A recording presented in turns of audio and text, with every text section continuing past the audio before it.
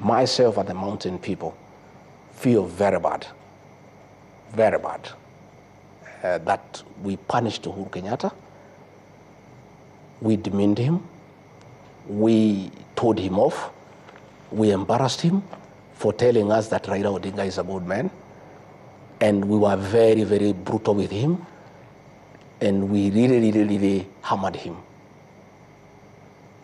It has come to our knowledge that it was very unfair because his crime was to tell us that oh, Raila Odinga is a good man. And we decided Raila Odinga is a bad man, William Ruto is a good man. Now that President William Ruto has said Raila is a good man, that is why I apologize to Uhuru Kenyatta and his family. And I owed him an apology on behalf of the community.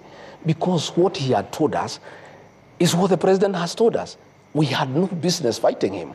We had no business disrespecting him. We had no business humiliating him. Right. So myself and the community, you know, owe Uhuru Kenyatta an apology. And I gave that apology on behalf of the community. Okay. You know, and we said, you know, we, we know because that's what he had told us.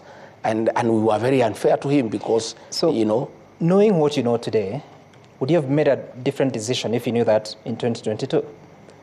Well, you cannot talk backwards.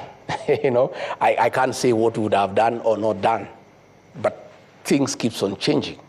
Yeah, but now we are saying everybody is good. You have said that once the king pronounces themselves, the pronouncement stands.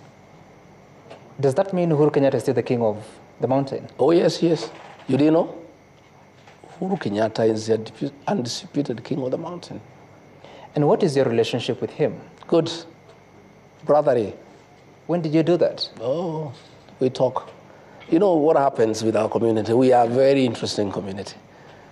We don't fight. We fight very rarely, and when we do, when we realize we fought without a good reason, we patch up. So We wh- when was that? Oh, yeah, yeah. How many We- months ago? Which Ah, month? We've, Which year? uh, we've been, uh, when we realized we made a mistake, I'm the one who made the first move of reaching out and apologizing because really we were unfair to Uhuru Kenyatta. You know, you know, we were very, very unfair. You know, sometime, you know, sometime I really feel very bad that I was you- so brutal Yeah. on a man who was my great friend, my confidant, my brother, my kinsman. I was so brutal on him. And his crime was only one, saying Raila is a good man. And then the man I said, we don't want Raila Odinga, we want William Ruto. Then he comes and says the same thing. I felt very stupid, you know. In fact, another day, a very senior person abused me at the airport and called me stupid five times. And I looked at it, I was very bitter, but I looked at it later at night and I thought probably he was right. I think I was stupid to fight my own brother, my kinsman, my confidant, for no good reason, for saying another person is a good man. I, I really regret uh, what I did, and my community does regret, and we are all very apologetic to the Kenyatta family.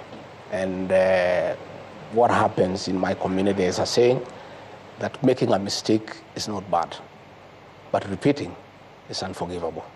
And by the way, let me tell you some from the experience of my community, myself and the leaders and the whole community fighting Uhuru Kenyatta, our son, a decision has been made by the community. In fact, it's a covenant. Never again, never again shall the people of the mountain ever, ever fight their own. When was that decision made? Ah, you know, the people, the Meru, the Embu, you know, they just talk slowly. That has been agreed on. And that's why you find when a few leaders are being told to fight Rigathi Gachagua, they are finding it very difficult because a decision has already been made. When? That, like almost a year ago. By who? That, by the community. In what forum? Ah, don't, don't worry. There are you, don't, you, don't, you don't know our people. There are millions our of people. Our people don't talk in meetings. They have a way of communicating. That is how they drove the British out of this land, you know, by communicating silently. There is a covenant among the Mount Kenya people Do you that they will never again, ever be confused by anybody, be used by anybody to fight their own leader. They will never do it.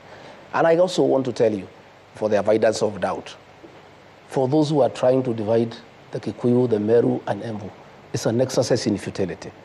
Those three are one. And finally, they'll be one.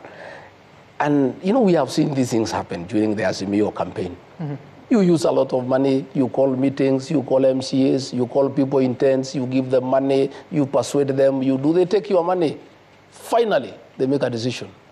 And you see what they did in 2022. I can tell you, this attempt to divide the Kikuyu, the Embu, and the Meru is an exercise in futility.